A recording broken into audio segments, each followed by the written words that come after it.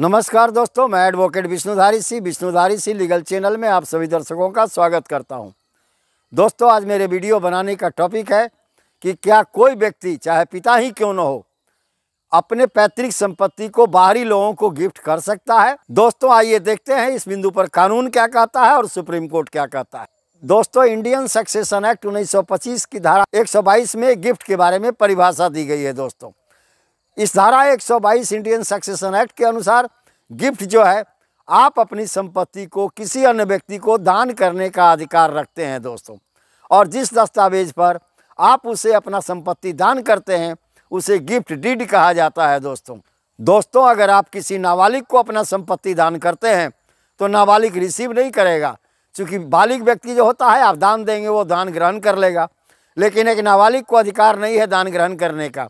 इसीलिए अगर आप किसी नाबालिग के नाम से अपनी संपत्ति दान करते हैं, तब आपको उसके गार्जियन को भी उसमें पार्टी बनाना होगा। गार्जियन उसका जो है, या उसका जो वैधिक प्रतिनिधि है, या उसके पिता हो या माता हो, उसके पक्ष से यह दान ग्रहण करें। अगर दान ग्रहण नहीं होगा तो दान कंप्लीट नहीं होगा।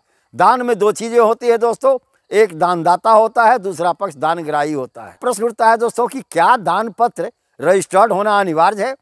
तो सेक्शन 17 इंडियन रजिस्ट्रेशन एक्ट यह प्रावधान करती है कि जो भी टाइटल ट्रांसफ़र का दस्तावेज़ है, टाइटल ट्रांसफ़र का मतलब स्वत हस्तांतरण, चाहे वह सेल डीड हो, डीड ऑफ़ गिफ्ट हो रिलिक्विसमेंट डीड हो, जिसे आप रिलीज़ डीड भी कहते हैं, ये सारी दस्तावेजों को रजिस्टर्ड होना ज़रूरी है। अगर यह रजिस्टर्ड नहीं है, तब section 49 transfer of property act के अनुसार ऐसे दस्तावेज़ को न्यायालय एविडेंस के रूप में स्वीकार नहीं करेगी। और यह वाइड डिक्लेयर कर दिया जाएगा इनवैलिड डिक्लेयर कर दिया जाएगा। इसीलिए दोस्तों deed of gift sale deed relinquishment deed इन सबों का रजिस्ट्रेशन ज़रूरी है। जब section 49 transfer of property act के अनुसार आपका अनरजिस्टर्ड सेल डीड या unregistered deed of gift invalid declare हो गया, शून्य घोषित हो गया वाइड डिक्लेयर हो गया तो वह संपत्ति पुनः अपने मूल मालिक में लौट जाती है। गिफ्ट आप तिलक दहेज में अपने बेटी या दामाद को दे सकते हैं उत्तर सीधा सीधी इस पर ऑनरेबल सुप्रीम कोर्ट ने भी कहा कि नहीं, तिलक दहेज लेना और देना दोनों अपराध है। इसीलिए आप अपनी पैतृक संपत्ति को या किसी भी संपत्ति को तिलक में आप नहीं दे सकते गिफ्ट के रूप में। क्या गिफ्ट दान जो है, पैतृक संपत्ति में बिना बंटवारा किसी किए किसी बाहरी लोगों को किया जा सकता है?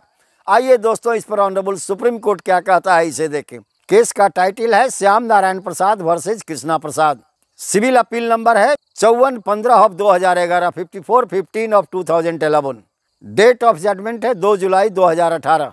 उपरोक्त केस में ऑनरेबल सुप्रीम कोर्ट ने अपना निर्णय सुनाते हुए वर्डिक दिया कि अगर पैतृक संपत्ति में कोई भी व्यक्ति अपना पैतृक संपत्ति को अगर वो किसी बाहरी व्यक्ति को दान देना चाहता है तो पहले उस पैतृक संपत्ति का बंटवारा करे। वह संपत्ति उसे बाप दादे से मिली है और उसके भी बाल बच्चे हैं, उसका भी शेयर उस संपत्ति में है। तो दूसरे के शेयर को दान करने का अधिकार पिता को भी नहीं है। अगर पिता भी चाहता है कि विरासत से मिली संपत्ति को हम किसी अन्य को दान दे दें, किसी एक बेटा को दान दे दें, किसी एक पत्नी को दान दे दें, यह अवैध माना जाएगा। इसके लिए उसे उस संपत्ति का पूर्ण विभाजन कराना होगा। विभाजन में परिवार के सारे सदस्यों को शेयर मिल जाएगा और जो उसका खुद का शेयर होगा, उसी संपत्ति को वह दान दे सकता है या उसी संपत्ति का वो डीड ऑफ़ गिफ्ट किसी भी व्यक्ति के पक्ष में एग्जीक्यूट कर सकता है।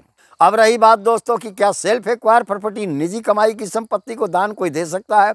हाँ दोस्तों, निजी कमाई की संपत्ति पर किसी का अधिकार नहीं है। न बेटा है, न बेटी है, किसी का अधिकार नहीं। निजी कमाई आपकी संपत्ति है।